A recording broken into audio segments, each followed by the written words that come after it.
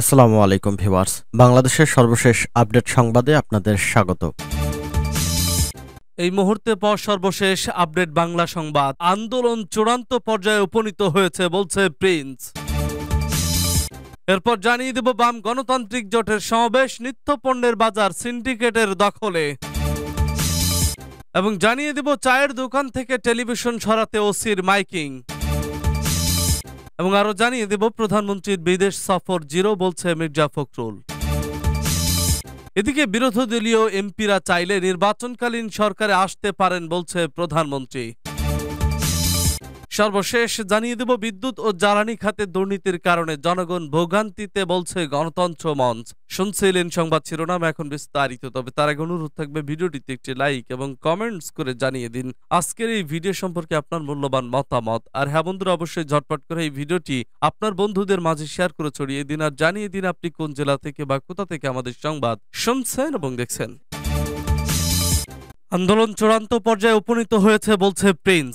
সরকার বিরোধী চলমান যুগপথ আন্দোলন প্রসঙ্গে বিএনপি সাংগঠনিক সম্পাদক সৈয়দ ইমরান সালে প্রিন্স বলেছেন, আন্দোলন চূড়ান্ত পর্যায়ে উপনীত হয়েছে। জেলা সমাবেশের মাধ্যমে এই আন্দোলনে যৌক্তিক পরিণতির দিকে ধাবিত হবে। আজ সোমবার বিকেলে ময়মনসিংহ বিএনপি কার্যালয়ে বিভাগের জেলা ও মহানগর শাখার নেতাদের সমন্বয়ে আন্দোলনের কর্মসূচি বাস্তবায়নের প্রস্তুতি সভায় সভাপতির বক্তব্যে এসব কথা বলেন তিনি। প্রিন্স বলেন, বর্তমান সরকার জনগণের সেবক নয় শোষক হিসেবে কাজ করছে। দুর্নীতি লুটপাট করে দেশকে ফোকলা করে দিয়েছে। সরকারের ব্যর্থতায় তীব্র অর্থনীতি সংকটে নিত্য প্রয়োজনীয় দ্রব্যমূল্যের ক্রমাগত ঊর্ধ্ব গতিতে মানুষ দিশেহারা। লোডশেডিং এ জীবনযাত্রা বিপন্ন, জনগণের সেবক হলে সরকার দুঃসময়ে জনগণের পাশে থাকত। সরকার জনদুর্ভোগের মাধ্যমে দুঃসময় ও দুঃশাসন সৃষ্টি করেছে। এর মধ্য দিয়ে সরকার জনবিচ্ছিন্ন হয়ে গেছে। প্রস্তুতি সভায় বিভাগের অন্তর্গত ময়মনসিংহ, উত্তর দক্ষিণ মহানগর এবং জামালপুর কিশোরগঞ্জ নেত্রকোনা জেলা বিএনপির শীর্ষ স্থানীয় নেতারা উপস্থিত ছিলেন। এতে বক্তব্য দেন বিএনপির সহ সাংগঠনিক সম্পাদক ওয়ারেস আলী মামুন, শরীফুল আলম, ময়মনসিংহ, দক্ষিণ জেলা বিএনপির আহ্বায়ক ডাক্তার মাহবুবুর রহমান লিটন, মহানগর বিএনপির আহ্বায়ক অধ্যাপক শফিকুল ইসলাম প্রমুখ। এর আগে বিএনপির সাংগঠনিক ও সহ সাংগঠনিক সম্পাদকরা শেরপুরে জেলা বিএনপির প্রস্তুতি সভায় যোগ দেন। শেরপুর জেলা বিএনপির সভাপতি মাহমুদুল হক রুবেলের সভাপতিত্বে অনুষ্ঠিত প্রস্তুতি সভায় জেলা বিএনপির সাধারণ সম্পাদক হজরত আলী, সাংগঠনিক সম্পাদক মাহমুদুর রহমান পলাশ প্রমুখ বক্তব্য দেন। ওয়ারেস আলী মামুন বলেন, নিরপেক্ষ সরকারের অধীনে নির্বাচনে আওয়ামী লীগ ভয় পায় বলেই তারা আবারও সাজানো পাতানো নির্বাচন করতে ষড়যন্ত্র করছে। বাম গণতান্ত্রিক জোটের সমাবেশ নিত্যপণ্যের বাজার সিন্ডিকেটের দখলে। নিত্যপণ্যের বাজার এখন গোটি কয়েক ব্যবসায়ীর সিন্ডিকেটের দখলে। সরকারের মন্ত্রীদের বক্তব্য সিন্ডিকেটের দৌরাত্ম বেড়েছে। সোমবার রাজধানীর পল্টনে বাম গণতান্ত্রিক জোট আয়োজিত এক সমাবেশে জোটের নেতারা এসব কথা বলেন। দ্রব্যমূল্য বৃদ্ধি সিন্ডিকেটের দৌরাত্ম বন্ধ এবং দুঃশাসনের অবসান দাবিতে বাম জোট, বাংলাদেশ জাসদ ও ঐক্য ন্যাব এ সমাবেশে কর্মসূচি পালন করে। সমাবেশ থেকে শ্রমজীবী মানুষের জন্য স্বল্প মূল্যে রেশন দেওয়ার দাবি জানান বক্তারা। সমাবেশ থেকে নিত্যপণ্যের দাম সহনীয় পর্যায়ে নামিয়ে আনতে সিন্ডিকেটের দৌরাত্ম বন্ধ করার দাবি জানানো হয়েছে। বাম জোটের নেতারা বলেন, বিদ্যুৎ আর জ্বালানি খাতে সীমাহীন দুর্নীতি লুটপাটের দায় জনগণের কাঁধে চাপিয়ে দিতে সরকার দফায় দফায় দাম বাড়াচ্ছে। সরকারের প্রশ্রয় ব্যবসায়ীরা নিত্যপণ্যের দাম বাড়িয়েছেন। শিক্ষা আর চিকিৎসা খরচও এখন আকাশ ছোঁয়া। শ্রমিকদের মজুরি বাড়ছে না, কর্মক্ষেত্রে শ্রমিকরা মারা যাচ্ছেন, কিন্তু ক্ষতিপূরণ পাচ্ছে না। বড় ধান কাটা হলেও কৃষকেরা এর ন্যায্য মূল্য পাচ্ছে না। সার, কীটনাশক, বীজ ও সেচের খরচ দফায় দফায় বাড়ছে। বাম নেতারা বলেন, টাকা পাচারের খবর গণমাধ্যমে প্রকাশ পেলেও অভিযুক্তরা ধরা ছোঁয়ার বাইরে। মেঘা প্রকল্প, টাকা পাচার ও দুর্নীতির কারণে বৈদেশিক মুদ্রার রিজার্ভ প্রতিদিন কমছে, অথচ এর দায় চাপানো হচ্ছে জনগণের ওপর। বিদ্যুৎ উৎপাদনের কথা বলে সরকার বাহবা নিলেও সারা দেশে ভয়াবহ লোডশেডিং হচ্ছে এতে দুর্বিষহ হয়ে উঠেছে জনজীবন। চায়ের দোকান থেকে টেলিভিশন সরাতে ওসির মাইকিং। চায়ের দোকানে টেলিভিশন নাচ চালাতে মাইকিং করেছেন ময়মনসিংহের ত্রেশাল থানার ভারপ্রাপ্ত কর্মকর্তা মাইন উদ্দিন। এ সংক্রান্ত ভিডিও ফেসবুকে ভাইরাল হয়েছে। ওসির এ প্রচারণার প্রশংসা করেছেন অনেকেই। বৃহস্পতিবার থেকে উপজেলার বিভিন্ন ইউনিয়নে ঘুরে ঘুরে হ্যান্ড মাইক নিয়ে প্রচারণা চালাচ্ছেন। ওসি মাইন উদ্দিন পর্যায়ক্রমে উপজেলার বারো ইউনিয়নে প্রচারণা চালাবেন বলে জানিয়েছেন তিনি। এ বিষয়ে ত্রিশাল থানার ওসি মাইনুদ্দিন বলেন, চায়ের দোকানগুলোতে সকাল থেকে রাত একটা থেকে থেকে দুইটা পর্যন্ত টেলিভিশন চালানোর বিষয়টি অনেকেই আমার কাছে মৌখিক অভিযোগ করেছিলেন। অভিযোগ পাওয়ার পর খোঁজখবর নিয়ে চায়ের দোকানে টিভি চালানো বন্ধ করার উদ্যোগ নেয়। পরে এগারোই মে উপজেলার রামপুর ইউনিয়নে প্রথম প্রচারণা শুরু করি।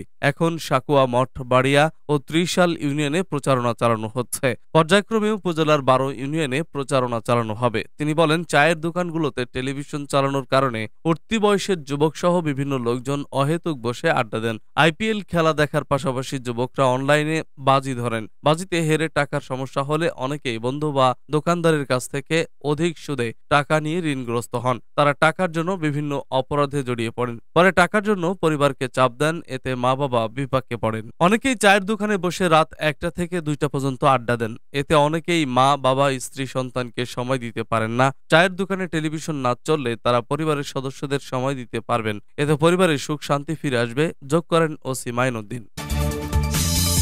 প্রধানমন্ত্রীর বিদেশ সফর জিরো বলছে মির্জা ফখরুল। সম্প্রতি প্রধানমন্ত্রী শেখ হাসিনার বিদেশ সফর জিরো বলে মন্তব্য করেছেন বিএনপির মহাসচিব মির্জা ফখরুল ইসলাম আলমগীর। আজ সোমবার বিকেলে গুলশানে দলের চেয়ারপারসনের কার্যালয়ে এক বৈঠক শেষে সাংবাদিকদের মির্জা ফখরুল বলেন, স্বঘোষিত সরকারকে নেতৃত্ব দিচ্ছেন শেখ হাসিনা। তার বিদেশ সফর জিরো।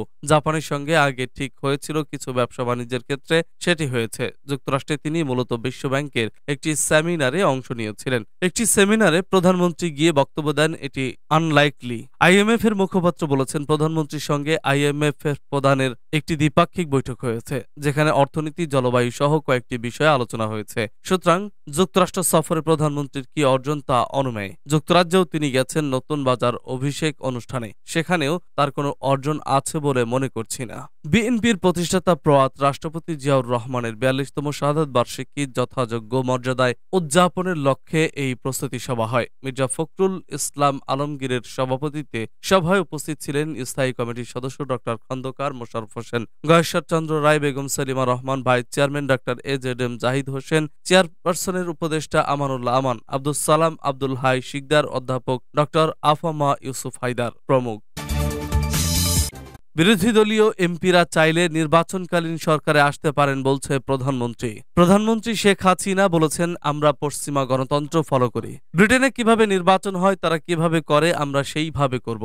আমরা এইটুকু উদারতা দেখাতে পারি সংসদে যে সব বিরোধী দলীয় সংসদ সদস্য আছে, তাদের মধ্যে কেউ যদি ইচ্ছা প্রকাশ করে নির্বাচনকালীন সরকারে আসতে, আমরা নিতে রাজি আছি। এমনকি দুই হাজার চোদ্দ সালে খালেদা জিয়াকেও আমি এ আহ্বান করেছিলাম, তিনি আসেননি। আজ সোমবার বিকেল চারটায় প্রধানমন্ত্রীর সরকারি বাসভবন, গণভবনে আয়োজিত সংবাদ সম্মেলনে সাংবাদিকদের এক প্রশ্নের জবাবে তিনি এসব কথা বলেন। সদ্য সমাপ্ত জাপান যুক্তরাষ্ট্র, যুক্তরাজ্য সফর নিয়ে এ সংবাদ সম্মেলনের আয়োজন করা হয়। সরকার বিরোধী আন্দোলনের অংশ হিসেবে গত বছরের ডিসেম্বর বিএনপির সাতজন সংসদ সদস্য পদত্যাগ করেন। তাদের বিষয়ে প্রধানমন্ত্রী বলেন, এখন তারা সংসদে নেই। তাই তাদের সম্পর্কে চিন্তা করার কিছু নেই। শেখ হাসিনা বলেন, সরকার হটাবে। আমরা তো তাদের কিছু বলছি না। আমরা যখন বিরোধী দলে ছিলাম, তখন আমাদের নামতে দিয়েছে। হামলা করেছে, একুশ হাজার নেতাকর্মী হত্যা করেছে। আগুন দিয়ে পুড়িয়ে মানুষ মেরেছে, নির্বাচন ঠেকাতে পাঁচশো স্কুল পুড়িয়েছে। সাড়ে তিন হাজার লোক ও তিন হাজার আটশো গাড়ি পুড়িয়েছে,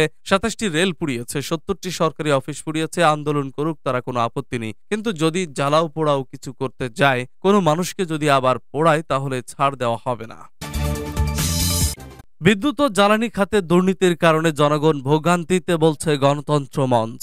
বিদ্যুৎ ও জ্বালানির ভয়াবহ সংকট চলছে দাবি করে তা নিয়ে ক্ষোভ প্রকাশ করেছেন গণতন্ত্র মঞ্চের নেতারা। তারা অভিযোগ করেন বিদ্যুৎ ও জ্বালানি খাতে সরকারের ব্যর্থতা, অদূরদর্শিতা ও দুর্নীতির কারণে আজ জনগণকে চূড়ান্ত ভোগান্তির মধ্যে পড়তে হয়েছে। সোমবার রাজধানীর সেগুন বাগিচায় বিপ্লবী ওয়ার্কার্স পার্টির কেন্দ্রীয় কার্যালয়ে গণতন্ত্র মঞ্চের কেন্দ্রীয় পরিচালনা পরিষদের সভায় তারা এসব কথা বলেন, যা রাতে গণমাধ্যমে পাঠানো এক প্রেস বিজ্ঞপ্তিতে জানান গণতন্ত্র মঞ্চের কেন্দ্রীয় পরিচালনা পরিষদের সদস্য আকবর খান। মঞ্চের সমন্বয়ক বিপ্লবী ওয়ার্কার্স পার্টির সাধারণ সম্পাদক সাইফুল হকের সভাপতিত্বে সভায় উপস্থিত ছিলেন।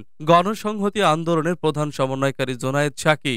জাতীয় সমাজতান্ত্রিক দলের সাধারণ সম্পাদক শহীদ উদ্দিন মাহমুদ স্বপন, রাষ্ট্র সংস্কার আন্দোলনের প্রধান সমন্বয়ক অ্যাডভোকেট হাসনাদ কাইয়ুম। ভাসানী অনুসারী পরিষদের সদস্য সচিব হাবিবুর রহমান রিজু, নাগরিক ঐক্যের সাংগঠনিক সম্পাদক সাকিব আনোয়ার, জেএসডি সহ সভাপতি সিরাজ মিয়া ও যুগ্ম সাধারণ সম্পাদক কামাল উদ্দিন পটোয়ারি, বিপ্লবী ওয়ার্কার্স পার্টির রাজনৈতিক পরিষদের সদস্য আকবর খান, গণসংহতি আন্দোলনের সম্পাদক মণ্ডলীর সদস্য বাচ্চু ভুইয়া, রাষ্ট্র সংস্কার আন্দোলনের সাংগঠনিক সমন্বয়ক ইমরান ইমন ভাসানী অনুসারী পরিষদের কেন্দ্রীয় নেতা হাবিবুর রহমান হাবিব প্রমুখ।